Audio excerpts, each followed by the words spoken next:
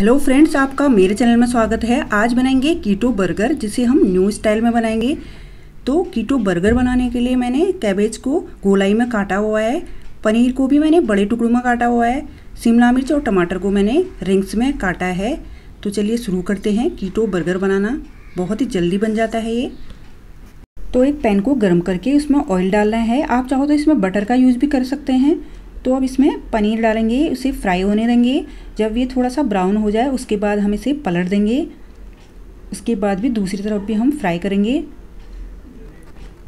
इस तरह से आप कीटो बर्गर बनाइए, बहुत ही जल्दी बन जाता है। इसमें हम आलू की टिकिया का यूज़ नहीं करेंगे। पनीर फ्राई हो गए हैं। अब सेम पैन में हम पत्ता गोभी को डालेंगे। इसे हम 20 सेकंड के लिए ही फ्राई करेंगे, ज़्यादा देर तक नहीं करना है।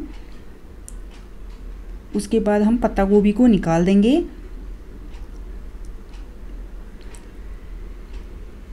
ये बहुत ही जल्दी बन जाता है। इसे आप कभी भी बना सकते हैं। बच्चों के लिए तो बहुत ही हेल्दी है ये। तो आप इसे ज़रूर बनाइए।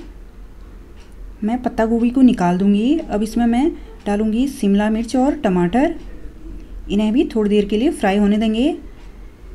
उसके बाद इन्हें भी हम निकाल देंगे। सारी चीज़ों को मैंने निकाल दिया है। ये देखिए, अब हम बर्गर तैयार करेंगे। ये पाँच मिनट में बन जाती है ये रेसिपी। आप ट्राई ज़रूर करें, बहुत ही आसान है बनाना। सबसे पहले मैं मेनूज डालूँगी, पत्ता गोभी में। मैं तीन बर्गर बना रही हूँ। उसके बाद टमाटो केचप डालूँगी। सारी चीज़ों स्प्रेड कर देंगे।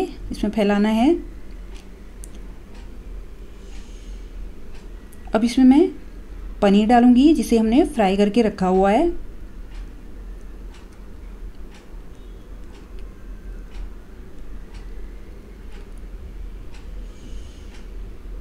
पनीर को मैंने सारे बर्गर में रख दिया है और टमाटर भी रख दूँगी मैं। उसके बाद शिमला मिर्च भी।